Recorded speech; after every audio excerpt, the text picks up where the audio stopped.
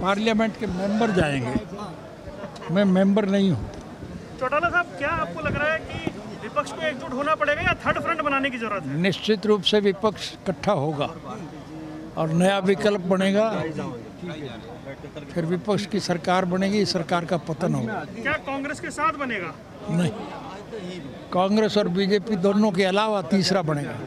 तीसरे फ्रंट की संभावना है क्या सर? क्षेत्रीय दलों में है वो बात अभी? ये बनती है बात। आज थोड़ी है अंग्रेज़ के राज से देख लो। कितना लंबा चलने वाला है सर ये आंदोलन? आंदोलन की कोई रुकने की या चलने की सीमा नहीं होती। वो तो परिस्थितियों के अनुसार चलता है।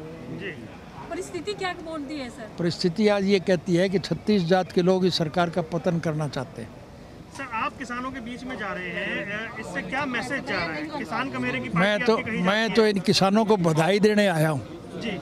इन्होंने आठ महीने तक संघर्ष करके सरकार को मज़बूत कर दिया। ठीक है जी। अच्छा ठीक है।